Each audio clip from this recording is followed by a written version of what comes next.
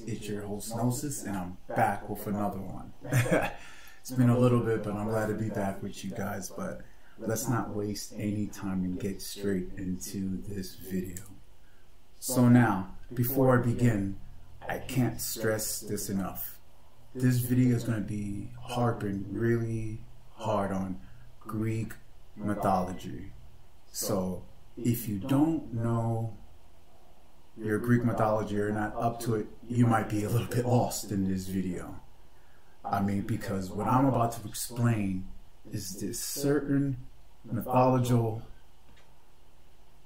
this certain mythical king that the Greeks actually incorporated into their story. And I don't think a lot of people know about this king, as you see from the headline Memnon.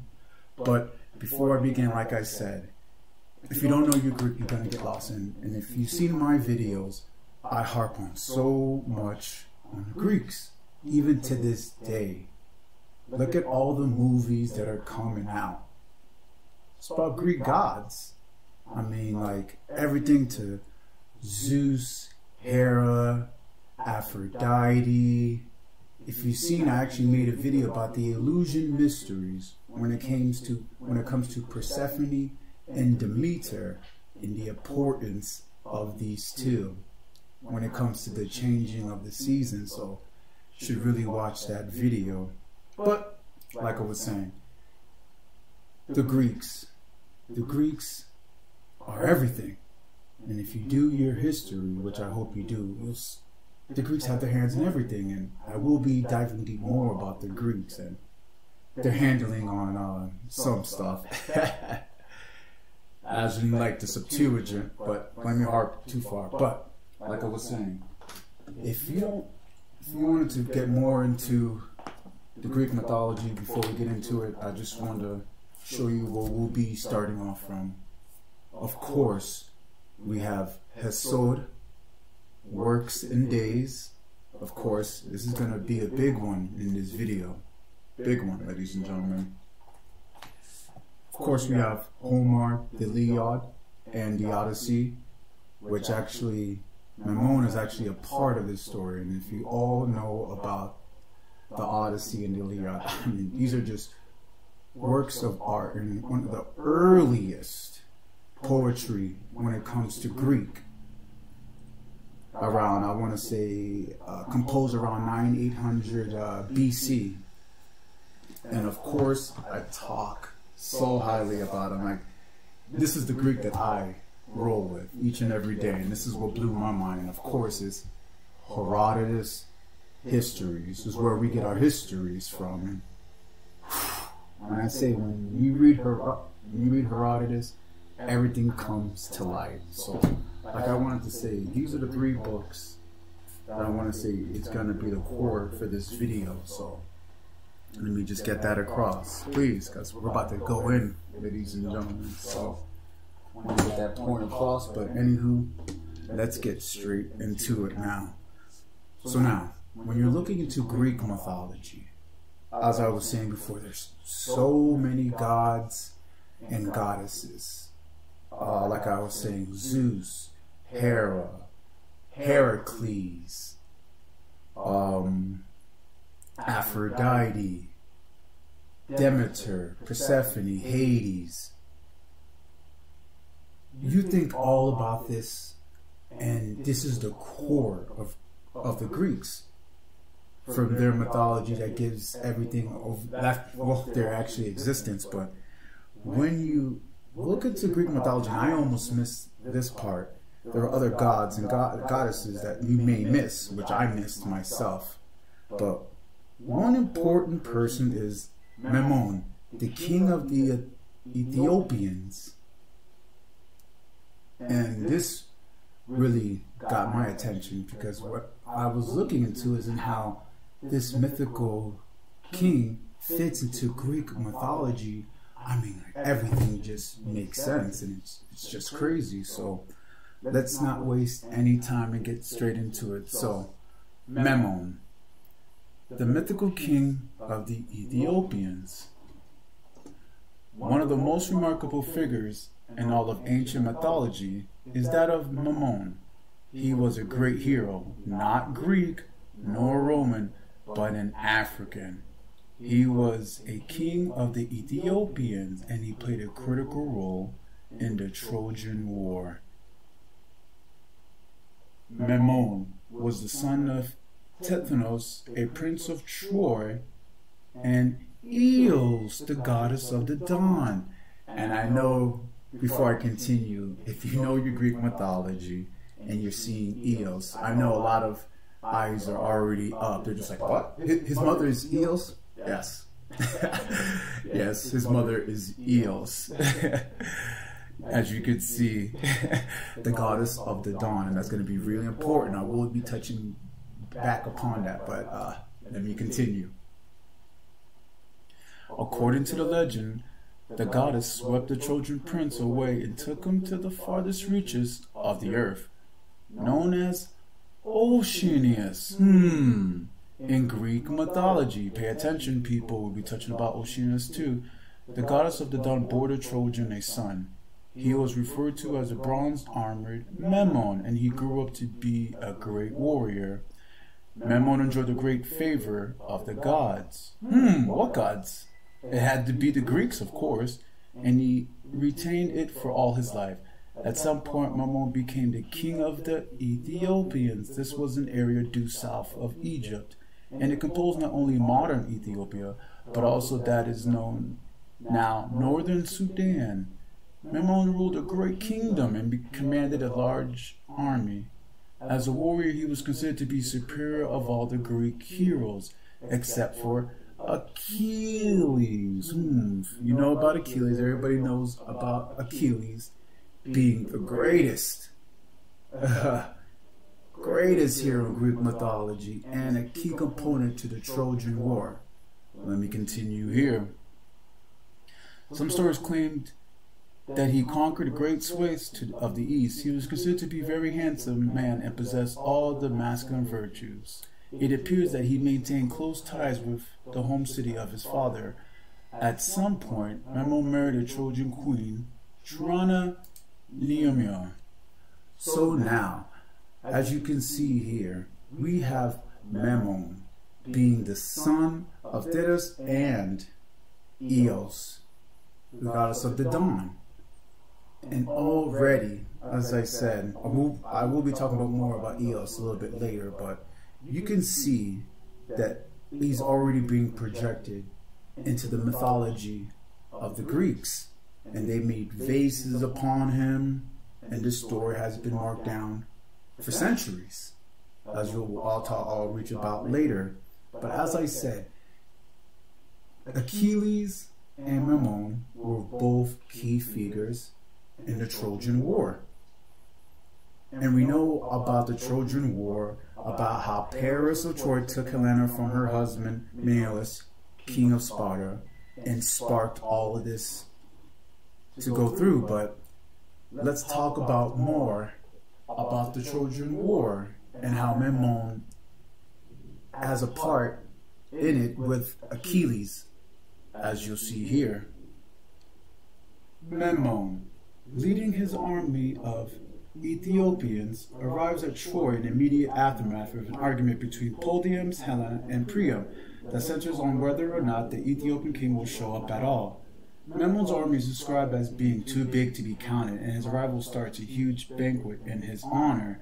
As per usual, the two leaders, Memnon and the case Priam, end the dinner by exchanging glorious war stories, and Memnon's tales lead Priam to declare that the Ethiopian king will be Troy's savior.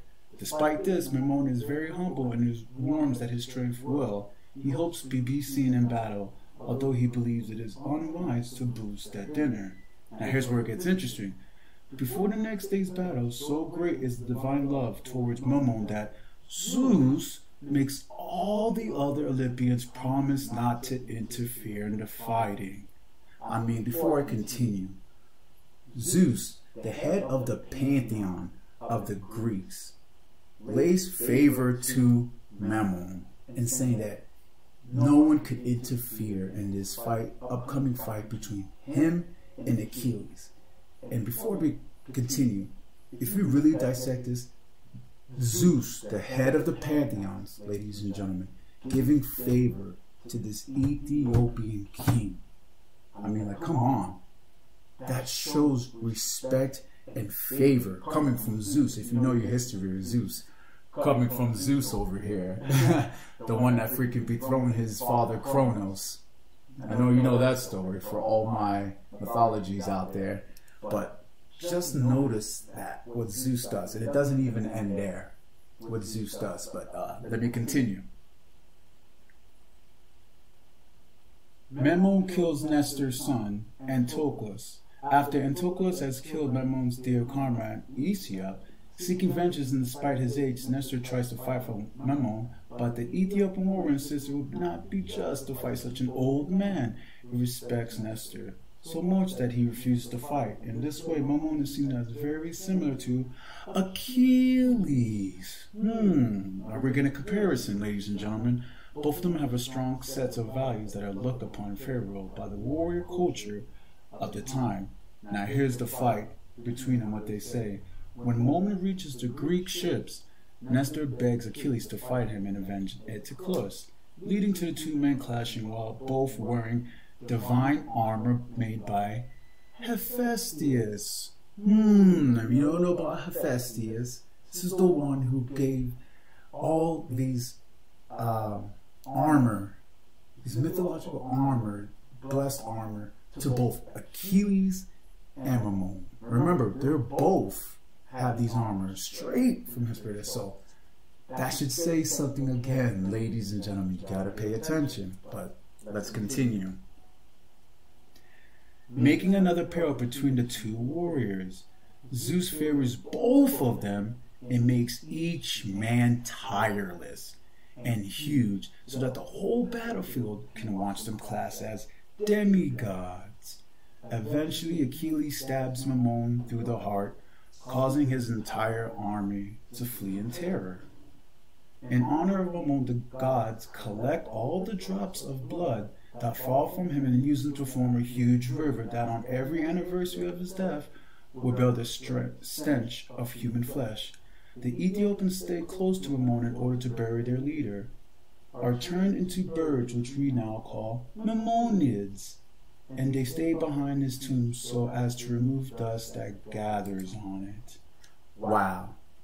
Ladies and gentlemen, I mean like if you just dissect this story, you have Zeus giving favor to both of these men, making them demigods fight each other to the death, and making making them so big that they're looked upon by everybody else, ladies and gentlemen. This is high praise right now, ladies and gentlemen. Like, just to be featured in this mythology and being Achilles equal. That's what got me. They compare Memnon to Achilles, the best. The best of all the heroes. Remember, Achilles, the best of all the heroes. Can't be, can't die. Remember, he was dipped by his Achilles into the waters. Remember, a demigod. Can't be destroyed only by his Achilles. So, right, that right there just blew my mind when it came to Memnon. And it doesn't even stop there. So now, thinking of, talking about Memnon and what he did in the Trojan War and his feats, I wanted to dive deep more into it and see where Memnon derived from. Where was his, or uh, where he derived from? Where did he come from? And if you remember, they talked about Ethiopia so much, and that's where he came from. So let's see more about Memnon here. Memnon in Africa. Roman writers and later classical Greek writers such as Diodorus Siculus believe Memnon hailed from Ethiopia, a geographical area in Africa, usually south of Egypt. Because of the original historical work by Artesianus of Melitone only survives in fragments. Most of it is what is known about Memnon comes from a post-Homeric Greek and Roman writers. Homer, as I told you also, guys, which we were getting into, only makes passing mention to Memnon in the Odyssey. Herodotus, as I just showed you the book, his stories, called Susa the city of Memnon. Herodotus describes two statues with Egyptian and Ethiopian dress that some, he says, identify as Memnon. He disagrees, having previously stated that he believes it to be Sestros. One of the statues was on the road from Smyrna to Sardis. Herodotus describes a carved figure matching this description near the old road from Smyrna to Sardis. Pausanias describes how he marveled at a colossal statue in Egypt, having been told that Memnon began his travels in Africa. And it says here, description here, in Egyptian Thebes on crossing the Nile to the so-called pipes, I saw a statue still sitting which gave out a sound. The many call it Memnon, who they say from Ethiopia overran Egypt and as far as Susa. The Thebians, however, say that it is a statue not of Memnon, but of a native named Phamenon. And I have heard some say that it is Sestris, just like what Herodotus was saying. The statue was broken in two by Cambyses, and at the present day, from head to the middle, it is thrown down. But the rest is seated, and every day at the rising of the sun, it makes a noise. And the sound of one could best liken to that of a harp of a lyre, when strings have been broken. Before I continue, Herodotus makes this claim of Ethiopia, and I want to get this clear to everybody. You have this Ethiopian king being called Memnon being projected into the myth into the Greeks mythological stories. So where does Herodotus say Ethiopia is? And I want to get this clear with everybody that this is straight out of Africa and where does Herodotus place it? As I'll show you here. Ethiopia.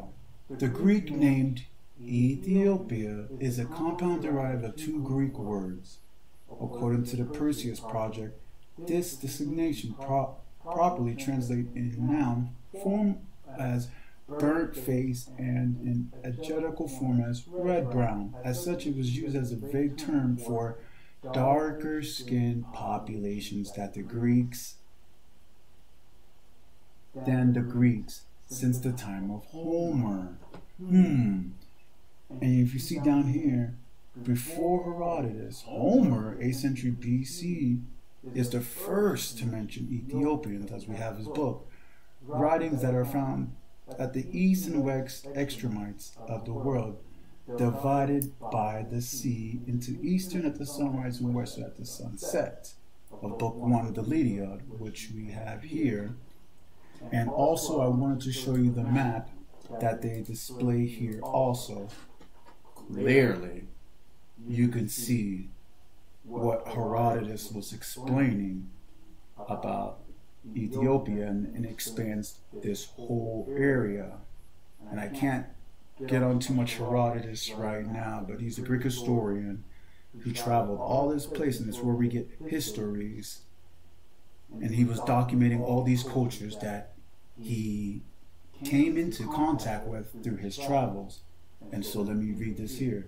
The inhabited world, according to Herodotus, Libya, Africa, is imagined as extending no further south than the Horn of Africa, terminating in the uninhabited desert. All peoples inhabiting the southernmost fringes of the inhabited world are known as Ethiopians after their dark skin at the extreme southeast of the continent of Macrobes, so called for their long longevity.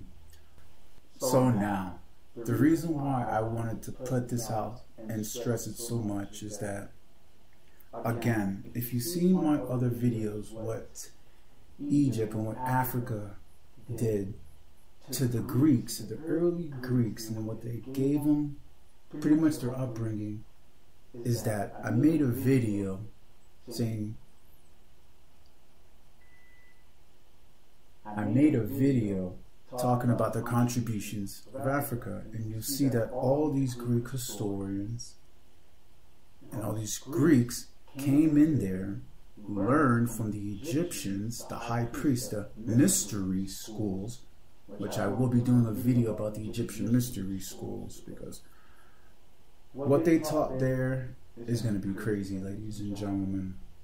And let me get, let me get too far. The point is, is that these people learned from Africans, black skinned, fair people. And this is no race thing, it's just that you come across this all the time. And some people are not putting it together. Some historians don't want to talk about this, but clearly, as you see in the vase and the cover,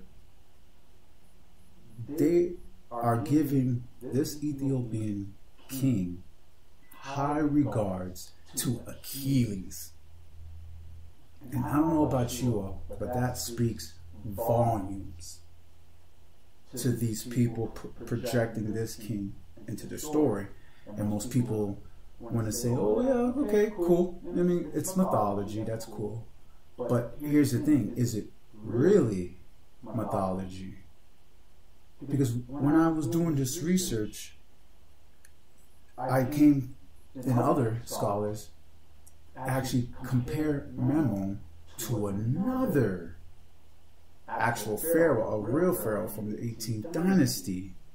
And this is what blew my mind because you know me, ladies and gentlemen. I when I go in, I go in with my research. I just don't stop there. I was just like, could there be any credi- credibility to this mythological story? Because I tell you, these stories need to really be dissected because there are some truths in these stories, even to the Egyptian stories, even to the Romans, and I talk so much about the Greeks. Something about these stories that are getting told and retold to the next generation, to the next generation. So, let me not get too far. So, is there any connection here? So, when I look it up, I see this person, and I'm going to show you that here.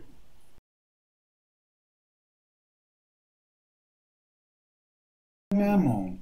Now, such is the scene in Homer, but the events depicted by the painter are as follows. Listen to this. Memnon, coming from Ethiopia, slays Antilochus, who has thrown himself in front of his father, and he seems to strike terror among the Achaeans, which were the Greeks, of course. For before Memnon's time, black men were but a subject for stories. And the Achaeans, Greeks, getting possession of the body, Lamia Antilochus, both of the sons of Atreus and Adican, and the son of Tydeus, and the two heroes of the same name. Again, of the same name. According to Manetho, Memnon in the eighth pharaoh of the 18th dynasty, and was one of the same king. So now, we have Manetho, and I'm going to explain who Manetho is, saying that Memnon is this pharaoh from the 18th dynasty, and it's the same person. They just projected a story about this king. So, when looking into it, I find I look at who is Manetho. Hmm. So, who was Manetho, and why is he important? Manetho was a priest who lived during the Ptolemy kingdom, which was in the early 3rd century BC, during the Hellenistic period. And if you've seen my videos, I talked highly about the Hellenistic period when it comes to Philadelphia. Alexandria what's coming straight from the Seleucid Empire and all of the wars of the di- wars of the Diadochi after let me say this again after the Greeks took Egypt from the Persians in the 3rd century BCE. And around this time, we get the LXX, as I talked, the Septuagint, which another video I talked about, which I won't stress now, but you should watch that video because around this time, the Septuagint's being made and Manetho is here too, and you'll see how Manetho gets projected in with the Septuagint, But let me continue.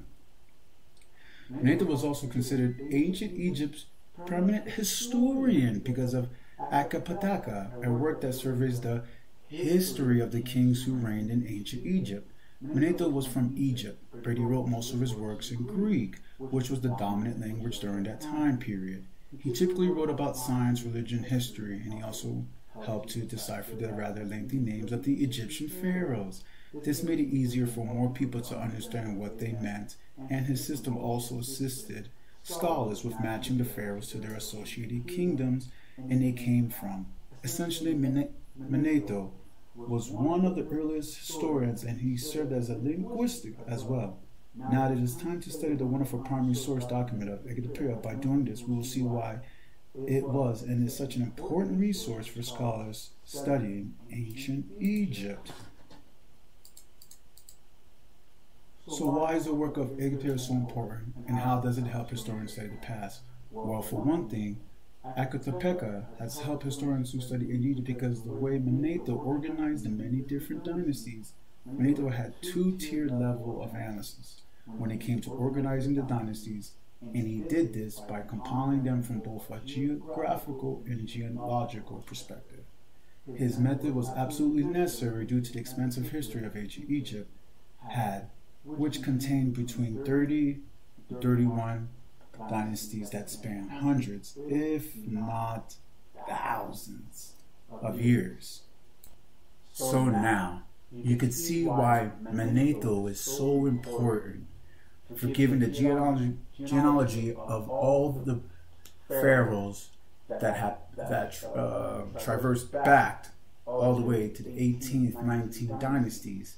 So they used him to get the certain order of the kings and the pharaohs so that they can have a better list and better understanding.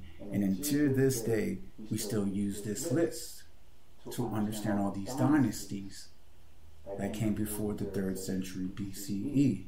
So you can understand why Manetho is so important and why I'm going to use him to better credit what he says, who, who he says is actually Memnon.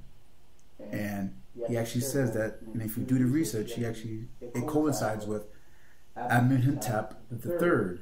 And then when you look at Amenhotep III and the statue that they have for him, it all just connects with each other. So now, let's look at it right now because you all could look this up. Let's do it right now. Colossal of Memnon. The Colossal of Memnon are two massive stone statues of the pharaoh Amenhotep III, which stand at the front of the ruined mortuary temple of Amenhotep III, the largest temple in the Theban necropolis. They have stood since 1350 BC and were well known to ancient Greeks and Romans, as well as early modern travelers and Egyptologists. The statues contain 107 Roman era descriptions in Greek and Latin, dated to between AD 20 and 250. Many of these descriptions on the northernmost statues make reference to the Greek mythological king Memnon, whom the statue was then enormously thought to represent. And as you see here, of all these pictures, clearly, ladies and gentlemen, you see all the descriptions here in Egypt. And remember, dating even the Romans contributed to all of these. So now, I want to go a little bit down here and show you all this. Roman era inscriptions.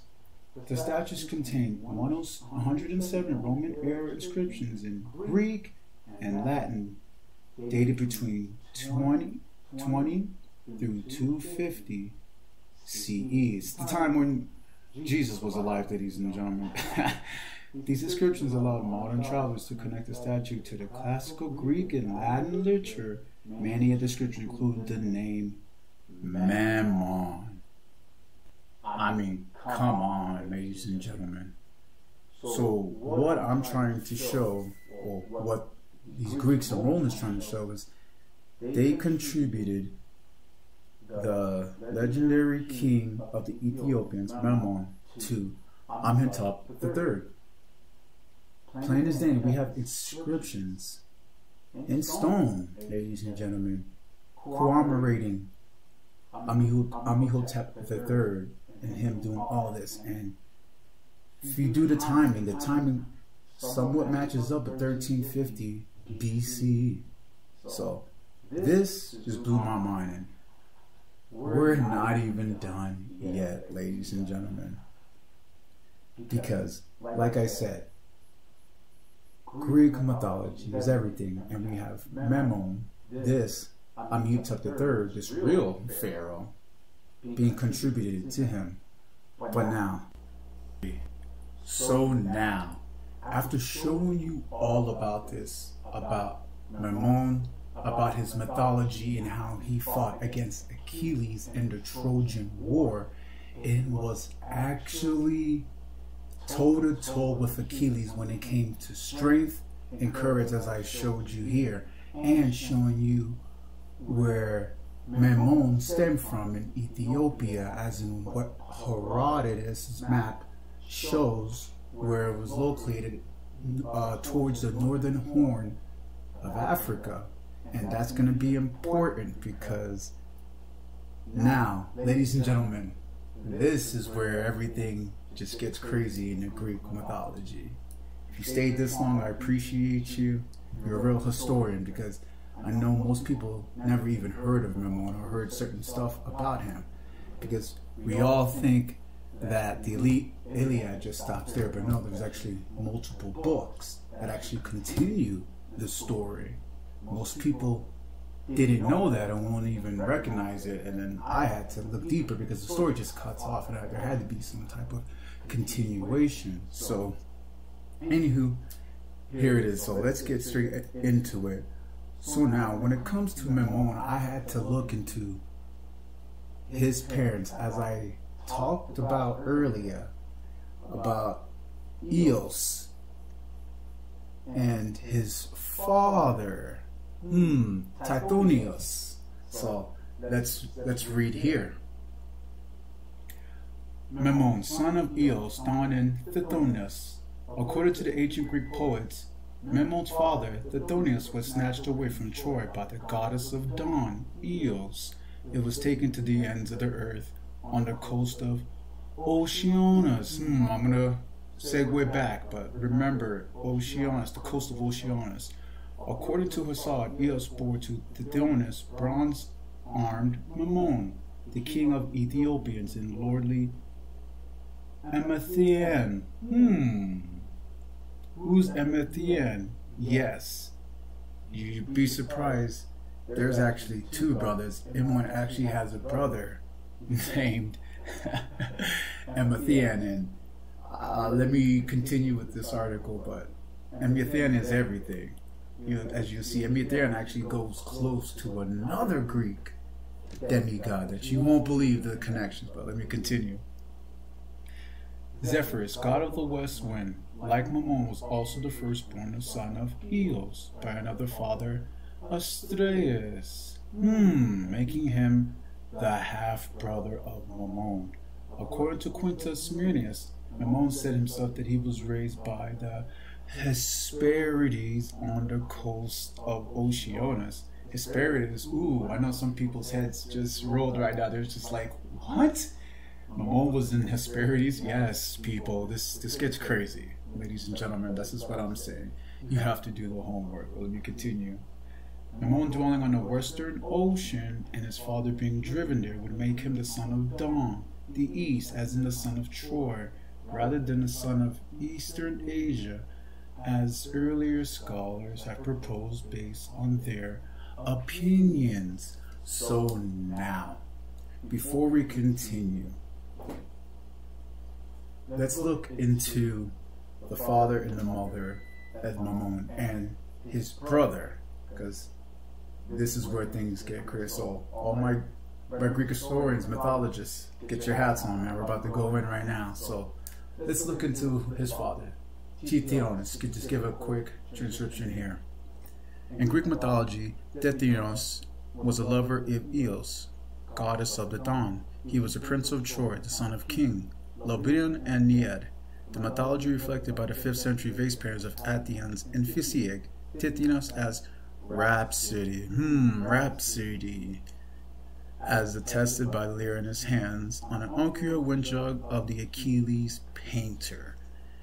And when it comes to as you'll see on the bottom here, Eos bore Tantinus, two sons, hmm, Memnon and Emathion.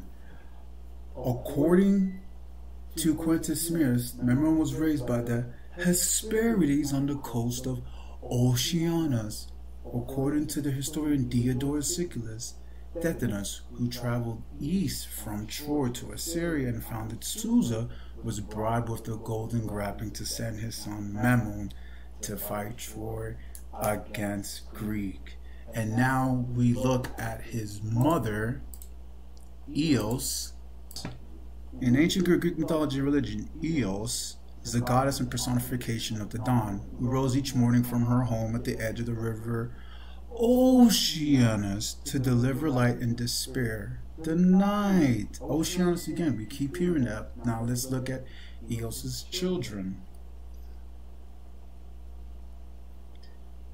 Eos married the titan Astraeus of the stars and became the mother of Anemoi, the winds, namely Zephyrus, Boreas, Notus, and Eurus of the morning star. Eos for Venus, the stars, and the virgin goddess Justice Astrea. Her notable offsprings were Memnon and Emathion by the Trojan prince Dethynus. So now, after just explaining that Amion does have a second brother, this Emethius actually, Emathion, intrigues me. Because if you look into Emathion, which they don't really touch about at all, which is weird, and I, I think I know why. But let's see who Emathion is and how his involvement is with Greek mythology, as I'll show you here. Emathion, king of Ethiopia or Arabia, the son of Tatinos and Eos, and brother of Memnon. Hercules killed him. Wait a minute, Hercules is in the story also with Memnon and his brother? Yes, ladies and gentlemen, again, how many of you people ever heard of Hercules going touch talking about Memnon and his brother? got to do your homework. You've got to do your homework. Hercules had to fight Emathion, who came across the valley of the Nile on his way to steal the golden apples of Hesperes and kill him and gave his kingdom to Memnon. According to a rumor, Emathion wanted to prevent Heracles from stealing the golden apples. A different legend tells that the father of Romus, who funded Rome, was Emathion.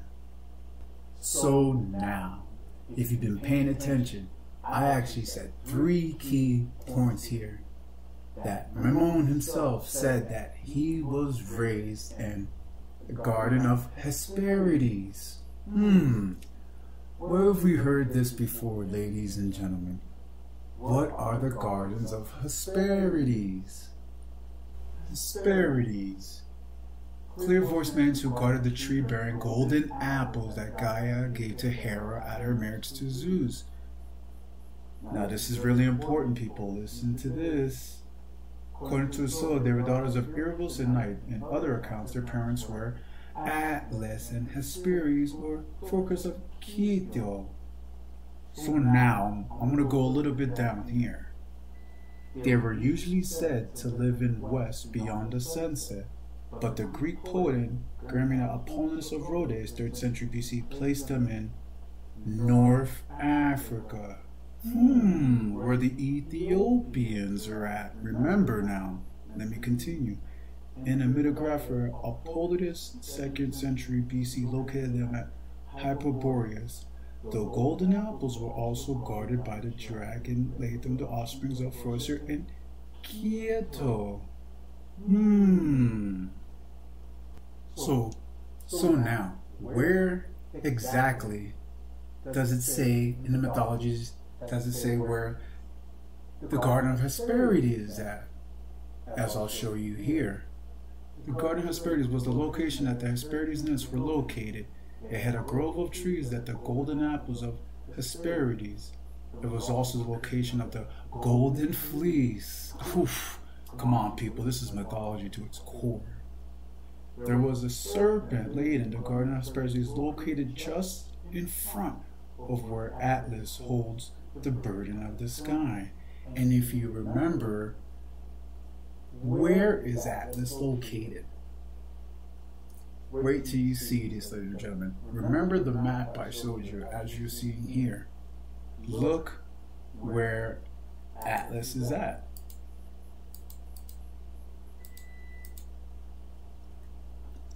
Clear as day, the northern northern helm of Africa. Right there. So if you look to the east of that, the Garden of Hesperides is right there. Ladies and gentlemen, sitting right there in Africa.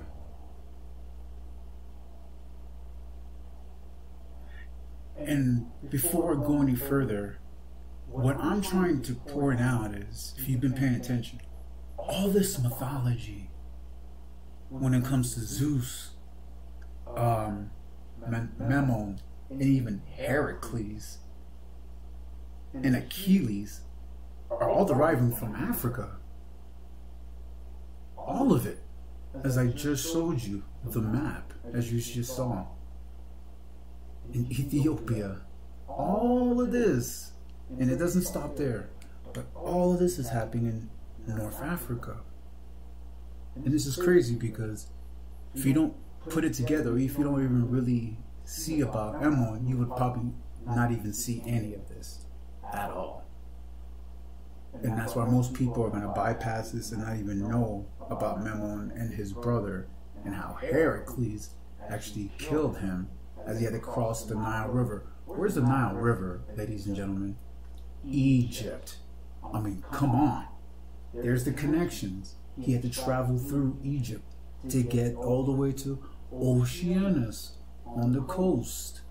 And let me show you more about Oceanus here.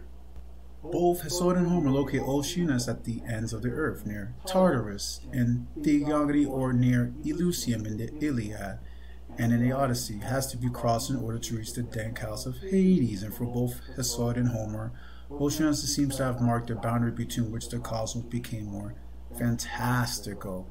The Theogony has such fabulous creatures as the Hesperides with their golden apples, which I just showed you guys is right there by Atlas in the northern part of Africa. And as you as I continue reading here, the three-headed giant Geryon and the snake-haired Gorgons, all residing beyond glor glorious ocean, while Homer located such exotic tribes as the Cimmerians, the Ethiopians. Again, and I'm going to show you the map again. Ladies and gentlemen, I can't make this up all this is in Egypt. And this is a continuation of my last video, just showing you how Egypt and the northern helm of Africa and Greeks were intertwined, ladies and gentlemen. You've seen the stories, the mythological stories. I just showed you Hesperides, and where Atlas is located. The golden apple that gained immortality that Hercules went to go get. Remember the stories, ladies and gentlemen. He had to hold it up. There's some stories where he held up Atlas holding up the world so Atlas can go out there and go grab it.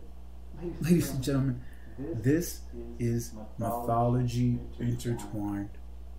All in Africa, talking about all about Africa. So I wanted to present this to you all like that because most people's jaws are like, huh? What? Never heard it like that because no one put it to you all like that. That's the thing. We, we just pass all this and just think it's all stories, but no, there's actually some truth to these stories, ladies and gentlemen. So I just wanted to get that across. And then just showing you that all of this happened right here in north, Northern Helm. What more evidence is it to show you the Cave of Hercules? Hmm, what? There's a Cave of Hercules? Come on, people. You thought I was gonna leave you guys all without more info? Come on now. Do your research. Let me show you this. Cave of Hercules. Tangier-Merkel, along the most northern port in Africa, is an ancient cave surrounded by legends. Along the most northern west tip of Africa continent is an intriguing cave complex steeped in myth and legends. According to the lore, it was even visited by one of Roman mythology's most famous heroes. According to the myth, Heracles, adapted from the Greek Heracles, slept here on his way to steal three golden apples from the Garden of Hesperides. Stealing the apples, which were believed to confer immortality, was the 11th and 12th labors of Hercules, according to the ancient writers. The garden was located in nearby Lixus, the current city of Larache, at the Atlantic coast. I'll skip here. You won't find Hercules or monkeys with the caves, but they're worth exploring nonetheless. The complex has two openings. The one that faces the sea resembles the shape of Africa and is said to have been created by the Phoenicians. And as you see here, ladies and gentlemen, these pictures, I mean, like, wow, come on. Not only do we have mythology backing up this area, Herodotus, which actually visited all this this whole area, Diodorus Siculus, Homer, Homer, Hesiod, all talking about this one area in northern Africa.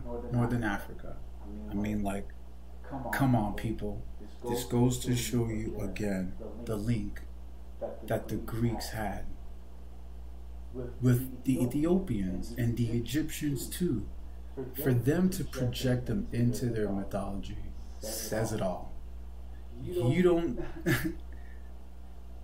as a group or a little nation, don't put in other cultures into your story and putting them onto the level of Achilles and Zeus granting immortality, immortality to Memnon, and then Hercules actually going on his way to go get the golden apples had to fight Memnon's brother, Emathion, beat him, killed him, and then gave him the control of that area, which is Egypt, of course.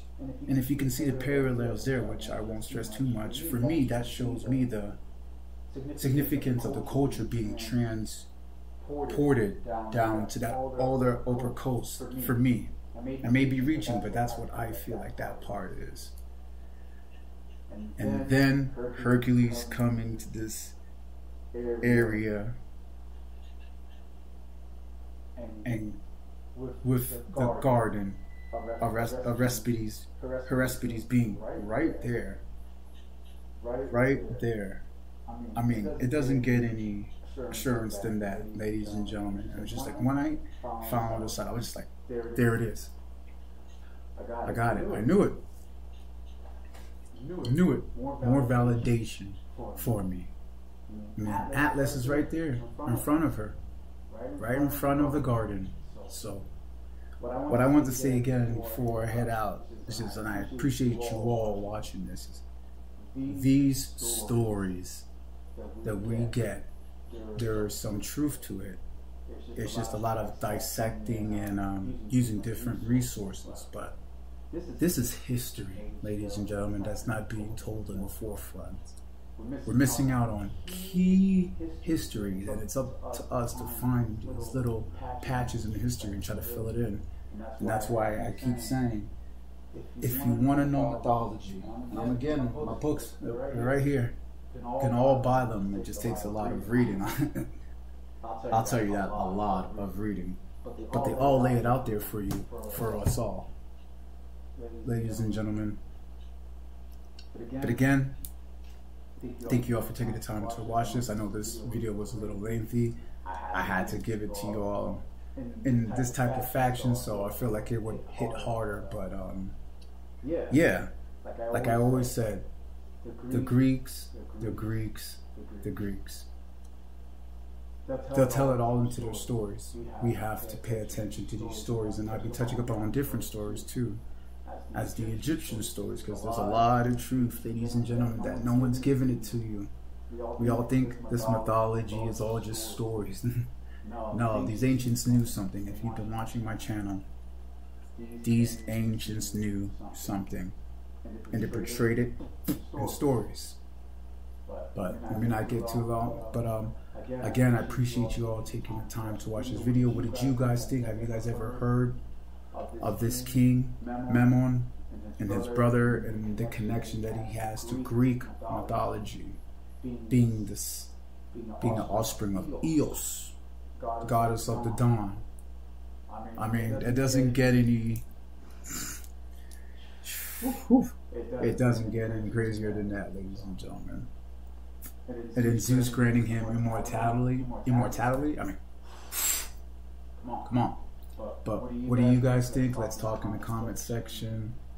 Um, but yeah, anywho, I'll see you all in the next one, and I appreciate you all. All right, guys, take care.